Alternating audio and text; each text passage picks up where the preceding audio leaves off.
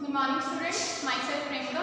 Today we will start our fourth chapter class 11 subject biology animal kingdom. Animal kingdom जो है अपना basically जो zoology का आज हमने फ़र्स्ट चैप्टर मान के चलो अपने स्टार्ट करने जा रहे हैं।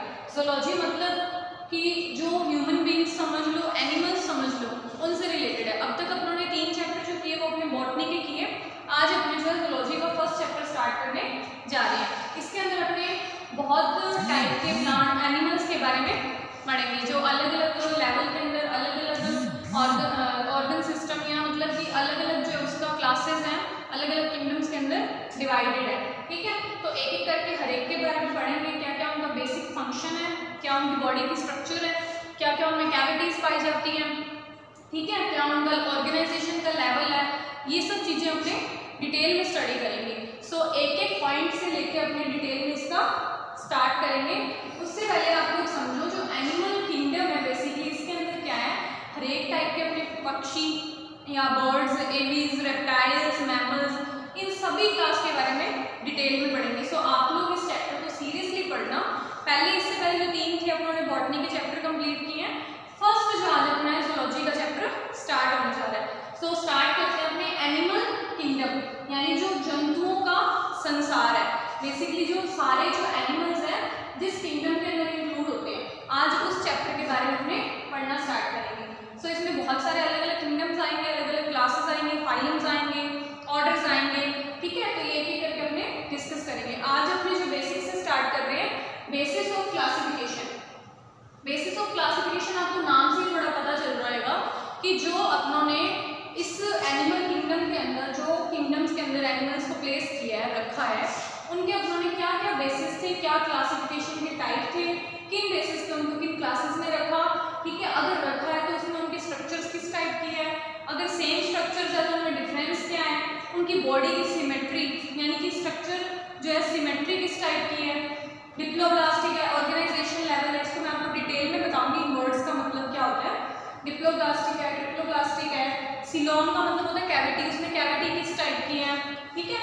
ये सब चीज़ें अपने इस लेक्चर में पढ़ेंगे।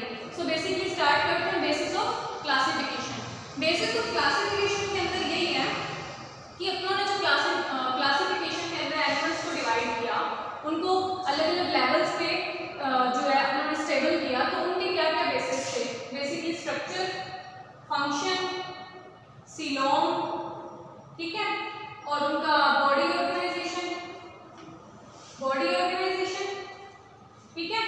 उनके अंदर कैविटी किस टाइप की है? कैविटी मतलब कि जो उसके अंदर खाली जगह स्पेस ठीक है? और इनके अंदर देख लो रिप्रोडक्टिव सिस्टम कैसा है मेन जो फ़ंक्शंस है रिप्रोडक्टिव सिस्टम है एक्सक्रीटरी सिस्टम है रेस्पिरेटरी सिस्टम है इन सब के बेसिस पे अपने ने इनको डिवाइड किया। सो बेसिकली ये जो था अपना बेसिस था क्लासिफिकेशन का। सो so, इसमें हम जो अपने धीरे धीरे कुछ पॉइंट्स पढ़ेंगे जो बेसिस ऑफ़ क्लासिफिकेशन को ही अब अपने आगे जो है ये जो पॉइंट्स अपने देखे हैं एक एक को डिटेल में स्टडी करेंगे। सो so, सबसे पहले जो इसमें अपने पढ़ने जा रहे हैं level of organisation level of organisation के बारे में अपने पढ़ेंगे। इस लेवल ऑफ़ ऑर्गेनाइजेशन के अंदर जो है अपने, इसके बाद जो है फ़र्स्ट पॉइंट है लेवल ऑफ़ ऑर्गेनाइजेशन जिसके बारे में हम पढ़ते हैं। इसके अंदर देखो, जो लेवल ऑफ़ ऑर्गेनाइजेशन है, यानी कि अपनों ने जिस जिस लेवल पे एनिमल्स को ऑर्गेनिजम्स को डिवाइड किया है, उनका क्या क्या लेवल अपनों ने रखा है ठीक है तो इसके अंदर अपने स्टार्ट करते हैं अपने को पता है बेसिकली लेवल ऑफ़ ऑर्गेनाइजेशन के अंदर जो ऑर्गेनिज्म होते हैं मल्टी सेलुलर होते हैं यूनिसेलुलर भी होते हैं बट इसके अंदर जो एनिमल्स है बेसिकली वो multicellular most of the include होते हैं ठीक है सो बेसिकली ज़्यादा कौन से होते हैं मल्टी सेलुलर अब इसमें ऑर्गेनाइजेशन का जो लेवल है सभी के लिए सेम नहीं होता क्यों अपनों ने जो एनिमल किंगडम है उसके अंदर एक टाइप के एनिमल्स नहीं इंक्लूड होते उसमें अपनी दुनिया के अंदर कितनी वेराइटी पाई जाती है इतने अलग अलग टाइप के जो ऑर्गेनिजम्स हैं एनिमल्स हैं एनिमल किंगडम के अंदर इंक्लूड होते हैं सो बेसिकली जो उनका लेवल ऑफ़ ऑर्गेनाइजेशन होगा सबका सेम नहीं हो सकता। सो so, हर एक का जो है अलग अलग क्लासेस है उनको अलग अलग बेसिस पे डिवाइड किया गया। सो बेसिकली उस कम्युनिटी का अपने धीरे धीरे जो है स्टडी करके चलेंगे। आगे देखो इसके अंदर जो सेल्स होते हैं जैसे स्पॉन्जेस का एग्जांपल लेते हैं। बेसिकली इसके अंदर जो लेवल ऑफ़ ऑर्गेनाइजेशन है मल्टी का वो किस लेवल पर चलता है? सबसे पहला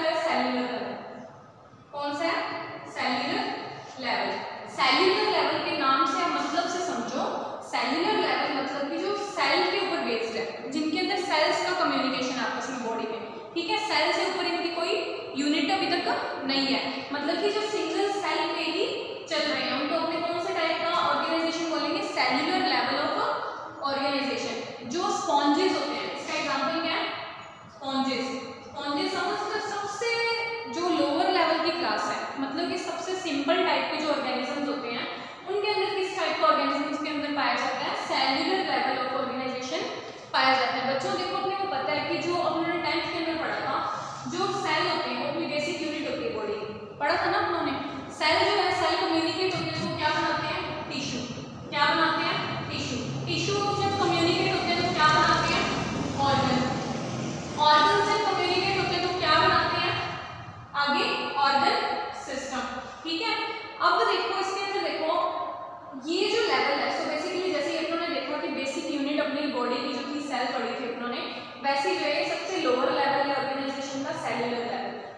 एग्ज़ाम्पल कौन से एनिमल्स में या ऑर्गेनिजम्स में पाया जाता है?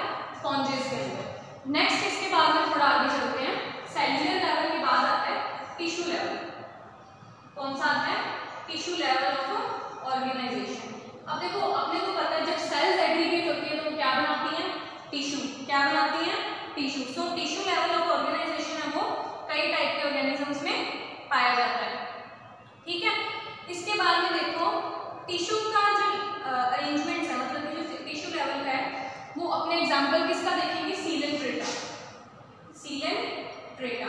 अब देखो, आप लोग तो सोच रहे होंगे कि मैं स्पॉन्जेस बता रही हूँ सीलन फ़िल्टर बता रही हूँ। आगे मैं आपको बताऊँगी प्लेटी एलमेंटीज एस के एलमेंटीज ठीक है? इनके बारे में बताऊँगी आप लोग कंफ्यूज हो रहे होंगे कि ये टर्म्स क्या है। बेसिकली देखो, जो सीलन प्लेट्स है स्पॉन्जेस है, ये एक ऑर्गेनिजम्स का एक ग्रुप है।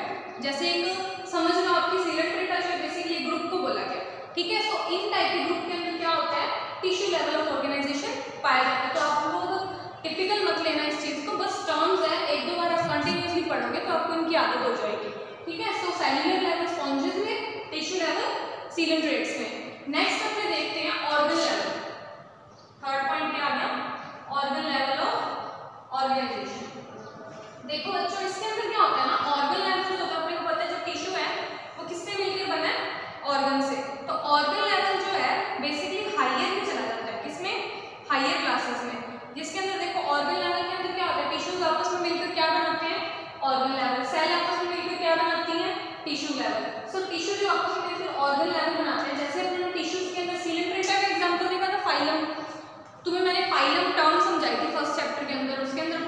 कि जो सेम टाइप के ऑर्गेनिज्म या एनिमल होते हैं वो एक टाइप के फाइलम या एक, एक समझ लो क्लास बोल दो उसको उसके अंदर रखे जाते हैं। सो so, ये क्या है कि मेंबर्स के नाम है। ठीक है? जो ऑर्गन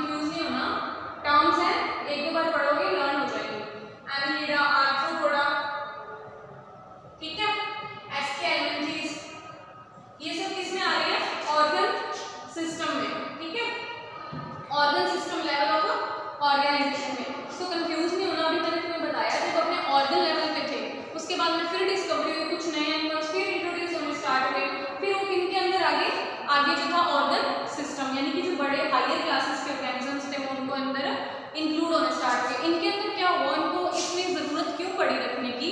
बिकॉज़ जो ये इनका जो सिस्टम था बॉडी थी, वो किस बेसिस पे चल रही थी? ऑर्गन्स के बेसिस पे। यानी कि इनके अंदर जो थे अलग अलग ऑर्गन डेवलप होने स्टार्ट हो गए थे। मान लो, इसके अंदर डाइजेस्टिव सिस्टम आ गया, किसी के अंदर रेस्पिरेटरी आ गया। यानी सांस लेने के लिए जो बॉडी की अलग अलग एक्टिविटीज़ थी बॉडी की जैसे एक्सक्रीशन मान लो हार्ट बोल दो, ये सब धीरे धीरे डेवलप होने के कारण इसमें क्या हो गया organ system level of organisation develop हो गया जिसकी डिस्कवरी हो गई अपने को उसके बारे में पता चल गया सो ये क्या था अपना basis of organisation level of organisation के बारे में पढ़ लिया नेक्स्ट अपने पॉइंट पे आते हैं सिमेट्री पे ठीक है हाँ कुछ टर्म्स रहेगी लेवल ऑफ़ ऑर्गेनाइजेशन में उसके बारे में भी अपने पढ़ लेते हैं उसके बाद अपनी सिमेट्री पे देखेंगे तो ये आप नोट्स बनाते हो जैसे मैं आपको बता रही हूँ साथ साथ ऐसे पॉइंट बना के देखो इसके अंदर लेवल ऑफ़ ऑर्गेनाइजेशन के अंदर ना कुछ टर्म्स और इंक्लूड हुई जैसे कंप्लीट सर्कुलेशन और दूसरा है इनकम्प्लीट इनकम्प्लीट जैसे कि आपको नाम से पता है कुछ ना कुछ कंप्लीट यानी कुछ पूरा होने के बाद होगी इनकम्प्लीट यानी कि कुछ अधूरा रह जाएगा देखो क्या होता है बेसिकली जो कंप्लीट सिस्टम होता है कंप्लीट सिस्टम के अंदर क्या होता है और इनकम्प्लीट में क्या होता है अब देखो अपने हायर क्लासेस की बात कर रहे हैं जिनके अंदर ऑर्गन्स डेवलप होने स्टार्ट हो गए तो अपने को पता है कि वो खाना भी खाते हैं खाना जो है जो पचता नहीं है डाइजेस्ट नहीं होता, वो एक्सक्रीट भी करते हैं। ठीक है तो ये उन टर्म्स जो है उनके बेसिस पे मतलब कि जिसके अंदर ओपनिंग जो होगी मतलब माउथ प्रेजेंट होगा। माउथ भी प्रेजेंट होगा। सेकंड थिंग इसमें जो एक्सप्रेशन के लिए वो एनएसडी प्रेजेंट होगा। मतलब कि एक्सप्रेशन का पॉइंट भी अलग होगा और जहाँ से अपने एनगल्फ कर रहे खा रहे हैं फ़ूड वगैरह ले रहे हैं, उसका पॉइंट भी अलग होगा। अगर ये दोनों किसी के अंदर प्रेजेंट है तो उस कंप्लीट के अंदर क्या आएगा ठीक है? अगर किसी के अंदर माउथ और एनएस दोनों में से एक ही चीज़ प्रेजेंट है ओनली वन तो इसको अपने किसमें रखेंगे? Include incomplete type of system में। अब देखो, अपने एग्ज़ाम्पल लेके चलते हैं एक जिसका मैं आपको इनकम्प्लीट का एग्जांपल बताती हूँ। जो इनकम्प्लीट टाइप ऑफ़ ऑर्गेनिजम्स हैं प्लेटी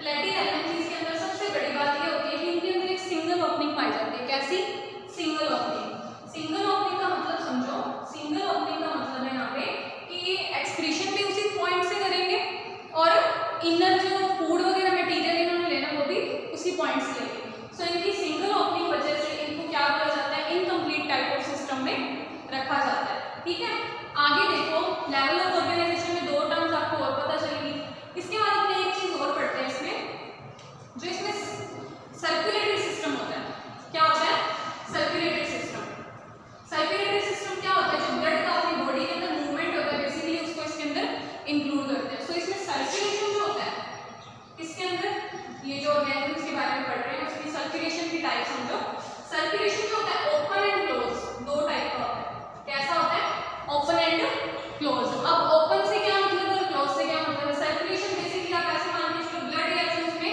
दूसरे जो है लिक्विड या फ्लूइड मैटर होता है उसकी बात होती है देखो ओपन सिस्टम का मतलब क्या होता है अब जैसे अपनी बॉडी का एग्जांपल लो जो ब्लड होता है किसके अंदर फ्लो करता है वेन्स के अंदर फ्लो करता है ब्लड वेन्स में फ्लो करता है ना मतलब कि एक ब्लड को फ्लो करने के लिए पर्टिकुलर उसका पाथ है एक पर्टिकुलर स्पेस है जिसके अंदर वो फ्लो कर रहा है ठीक है तो ऐसे सिस्टम जो होते हैं, उसको अपने क्लोज साइड के अंदर सिस्टम बोलते हैं। सर्कुलेशन कैसा है?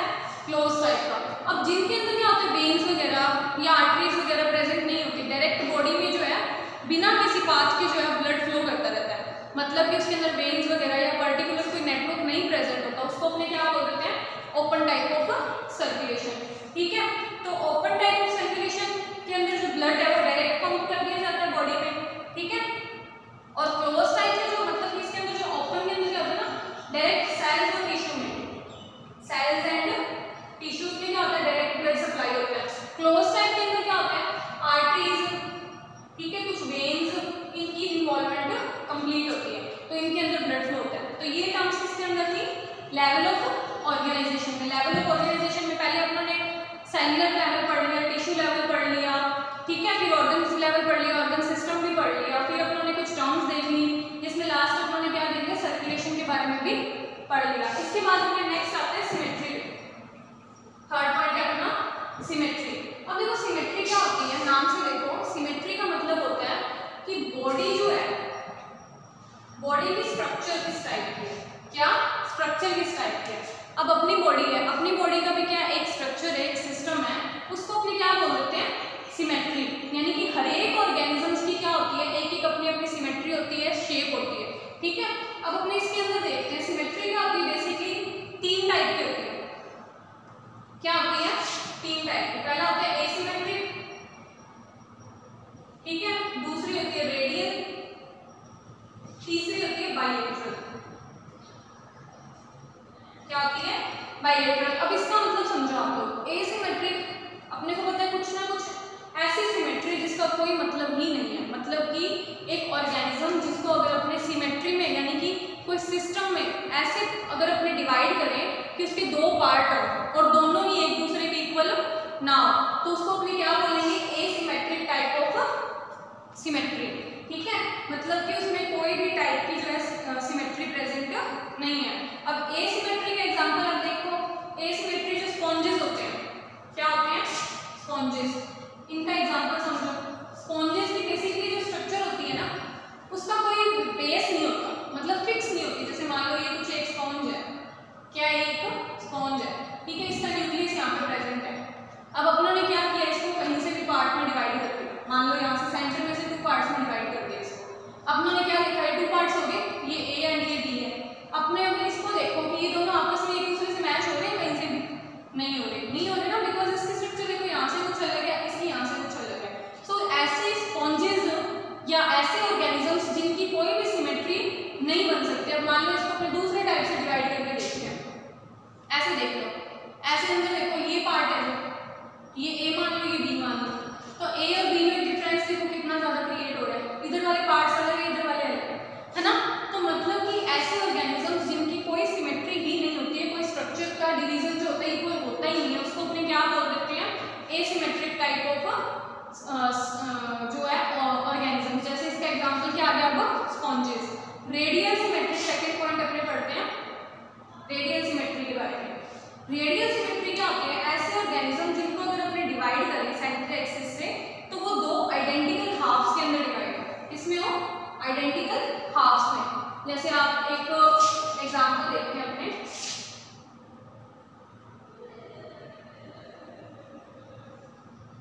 एक डायग्राम बना रही उसके थ्रू अपने समझ में आ कि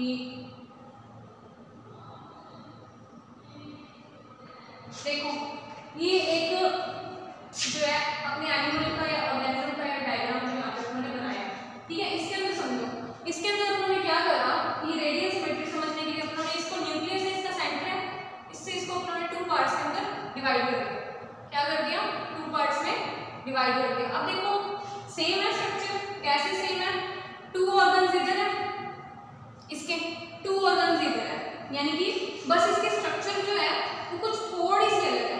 कैसे अलग है? कि जैसे अब अगर अपने दो हाथ ऊपर कर रखे हैं, अगर अपनी बॉडी को सेंटर से काटा जाए तो क्या होगा? एक हाथ नीचे है, एक हाथ ऊपर है। हैंड्स तो दोनों साइड एक एक हैं बट क्या है? उसकी थोड़ी सी स्ट्रक्चर अलग है। ठीक है? सो मतलब कि दोनों जो है आइडेंटिकल हाफ्स में डिवाइड हो रहे हैं। तो उसको क्या बोला जाता है? रेडियल टाइप ऑफ़ सिमेट्री अब देखो बाइलेटरल टाइप ऑफ़ सिमेट्री होती है थर्ड पॉइंट कैसी? बाइलेटरल टाइप ऑफ़ सिमेट्री इस सिमेट्री के अंदर क्या होता है इसके अंदर तो क्या हुआ कि ऑर्गन्स दोनों साइड सेम थे क्या थे ऑर्गन दोनों साइड सेम बट थोड़ी सी पोजीशन में फ़र्क था। बट जो third bi type of symmetry होती है ना उसके अंदर क्या होता है ऑर्गन भी सिमिलर टाइप के होते हैं ठीक है और जो उनकी सिमेट्री है कि बिल्कुल वो दोनों आइडेंटिकल हाफ्स में डिवाइड होते हैं मान लो मैं आपको लेटर से समझाती हूँ ये क्या है कैपिटल ए बनाया आपने ठीक है अब इसको उन्होंने क्या करा कि टू पार्ट्स में डिवाइड कर दिया सेंटर से क्या कर दिया टू पार्ट्स में डिवाइड कर दिया ठीक है तो इसके अंदर देखो क्या हुआ कि ये जो दोनों पार्ट्स थे बिल्कुल आइडेंटिकल है एक दूसरे के सो so, ऐसी सिमेट्री को क्या बोला जाता है बाइलेटरल टाइप ऑफ़ सिमेट्री आपकी बुक में भी एक डायग्राम दिया हुआ है बुक के अंदर जो है डायग्राम दिया हुआ है उसके अंदर क्लियर बताया हुआ है कि जो बाइलेटरल सिमेट्री है उसके अपनों ने एक एनिमल या ऑर्गेनिज्म के अंदर देखा कि यहाँ पे ऑर्गेनिज्म की जो है दोनों आपस में हैंड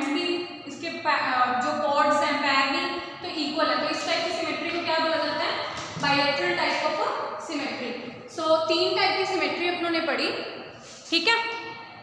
आगे अपने देखो डिप्लोप्लास्टिक और ट्रिप्लोप्लास्टिक के बारे में थोड़ा सा समझते हैं। थर्ड पॉइंट में अपना डिप्लोप्लास्टिक ट्रिप्लोप्लास्टिक अब ये क्या चीज़ होती है? देखो टर्म्स है, एक दो बार आप लोग पढ़ोगे तो आपको कंफ्यूजन क्रिएट नहीं होगी। तो बेसिकली क्या होता है, अपनी जो बॉडी होती है, उसकी ना लेयर्स होती है आउटर इनर ठीक है? तो उसी के बेसिस पे जो है इनको डिप्लो और ट्रिप्लोप्लास्टिक में डिवाइड किया गया। बॉडी की जो लेयर होती है आउटर वाली जो लेयर होती है, उसको एक्टोडर्म कहा जाता है इनर वाली लेयर को एंडोडर्म कहा जाता है, ठीक है? आउटर वाली लेयर को क्या कहा जाता है? एक्टोडर्म एनिमल्स की बात हो रही है। इनर वाली लेयर को क्या कहा जाता है? एंडोडर्म ठीक है? अब मेरी बात सुनो। कई कई ऑर्गेनिजम्स ऐसे होते हैं जिसके अंदर क्या होता है थर्ड लेयर एक और होती है जो एक्टो और एंडो के बीच में होती है अगर तो वो इन दोनों के साथ चिपकी हुई है मतलब कि उन दोनों को अलग नहीं है उनसे तो उसको अपने मीजोग्लिया बोलते हैं क्या बोलते हैं मीजोग्लिया बट एक लेयर ऐसी होती है कुछ ऑर्गेनिजम्स के अंदर ये तो क्या इनसे अटैच है इसको अपने मीजोग्लिया बोलते हैं ठीक है बट कुछ ऐसी होती हैं जो इन दोनों से अलग होती है क्या होती है इन दोनों के मिडल में होती है मिडल में तो वो भी थी बट ये जो होती है अपने सेपरेट लेयर बना के रखती है। जिसको अपने क्या बोलते हैं? मीजोडर्म सो समझो इस चीज़ को। बेसिकली एक्टो और एंडो यानी दो लेयर आउटर और इनर जिसमें प्रेजेंट होगी, उसको तो अपने डिप्लोप्लास्टिक बोल देंगे। और जिसके अंदर थर्ड यानी कि मिडल लेयर और प्रेजेंट होगी, वो कैसा होगा? ट्रिप्लोप्लास्टिक तुम्हें मैंने एक टर्म और बताई बीच में मीजोग्लिया मीजोग्लिया बेसिकली जिसमें होती है वो सूडोसिलोमेट टाइप के रहते हैं मतलब सूडो ब्लास्टिक होते हैं उनके अंदर जो सिमेट्री होती है क्लियरली डिवाइड नहीं होती इसको हम थोड़ा डिटेल में पढ़ते हैं सो so, अपनों ने एक्टो एंडोडम पढ़े तो डिप्लोप्लास्टिक पे ला दिया इसका एग्जांपल देखो सीलन ट्रेटा क्या एग्जांपल है सीलन ट्रेटा ठीक है सीलन ट्रेटा भी तुम्हें अभी मैंने बताया एक जो मीजोग्लिया के बारे में बताया वो एक्टो और एंडोडम दोनों के बीच में प्रेजेंट होती है क्या होती है दोनों के बीच में तो थर्ड थर्ड जर्मिनल लेयर कहलाती है क्या कहलाती है थर्ड जर्मिनल लेयर जो एक्टो और एंडो के बीच में होती है। ठीक है तो थर्ड टर्म क्या बताइए मीजोडम तो तीसरी क्या आ गई? मीजोडम तो दो जो होती है, उसको तो डिप्लोप्लास्टिक बोला जाता है, जिसमें दो प्रेजेंट होती है। तो इसका एग्जांपल क्या था सीलेंड्रेटा जिसमें मीजोडम आ गई थर्ड पॉइंट मीजोडम इंट्रोड्यूस होगी थर्ड लेयर जो है इसके अंदर। ठीक है तो उसको क्या बोल दिया अपनों ने? ट्रिप्लोप्लास्टिक क्या बोल दिया? ट्रिप्लोप्लास्टिक मतलब आउटर लेयर है एक्टोडर्म इनर लेयर है एंडोडर्म ठीक है जब दो ही प्रेजेंट